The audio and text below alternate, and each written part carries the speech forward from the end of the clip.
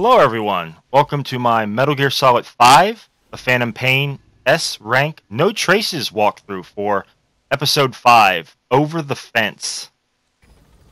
Uh, this is a another, and I will, I'm going to say this a lot. This is another fun mission for me. I had a lot of fun with this game.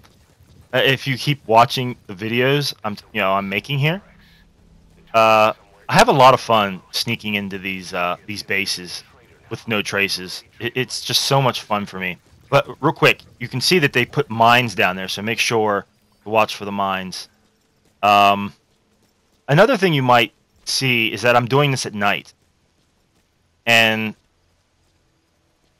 you know things change night and day in this game, obviously, but it, you know it really is a difference if it's night or day. I mean, some missions that you'll see that I've done, I do in the day. Um, and they're easier in the day for some reason. Uh, but then certain missions are just better at night. I mean, it does add so much to your camouflage as well, the nighttime. And having the good camouflage match the terrain you're on also helps, of course. Um, but yeah, I mean, night and day. I mean, it's totally different. I mean, so, this mission is probably be. It will be different in the day. I mean, it'll be similar. I think.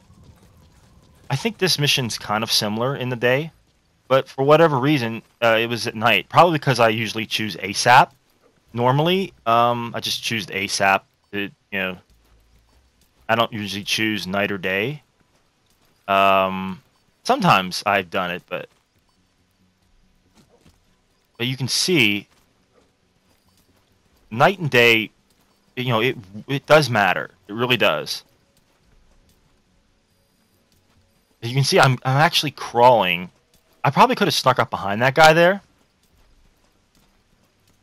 Uh, probably would have been very easy to just do that and tell him to get down. I really wanted to do this no traces. A lot of these missions I really wanted to do no traces on most of them anyway.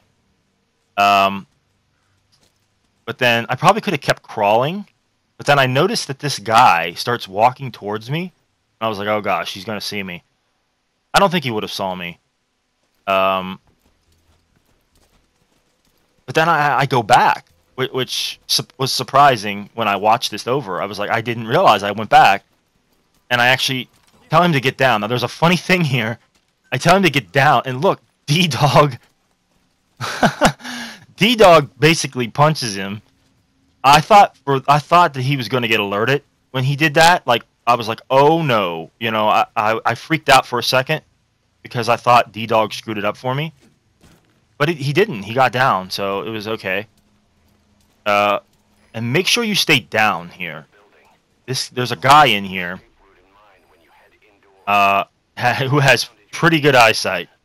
Uh, but as long as you stay prone, and you stay down, I don't think he can see you. And the camouflage helps as well. But the another thing about this guy is that it seemed like every time I tried this, he would never get down for me. When I would hold him up, he would never get down. He would challenge me every time. But for some reason, I used actual like a gun uh, that's a damage weapon instead of the tranq pistol. For some reason, he got down uh, and made this no traces run possible because sometimes he will challenge you. Most of the time, for me, he did. He challenged me, and it would forfeit the no traces bonus because then you immediately have to grab him and choke him out. And that will forfeit your no traces bonus if you have to engage him in some way so a lot of the time he challenged me, and but that time for some reason he did not. Uh, so keep that in mind, guys. That if you hold them up, automatically check to see if you can get them down or not. If there is no option to get them down, you have to grab them and choke them out because they are going to challenge you. They they will turn quickly and try to stab you, and then you will, they will cause an alert. So keep that in mind. Uh, but don't Fulton that guy around here because they will see you. Uh, so make sure you take him away a little ways away. Down here is good. Drop him. and then Fulton him immediately, and then make sure to just book it. Just get out as fast as possible. Keeping right right of the rocks here, you should be good. Because I've done this run numerous times. I've never been seen doing this route like this. Ever. Uh, unless there might be like a truck on the road, then maybe.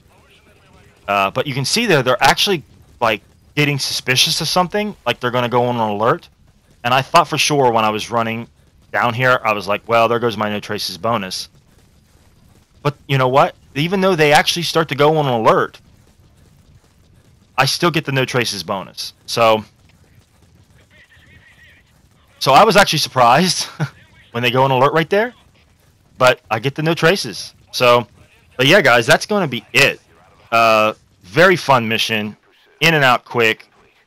Uh, but that will do it for me, guys. Uh, make sure you give a like. Thanks a lot, guys. Take it easy. Amazing. Mission complete. That right there is why you're the best, boss.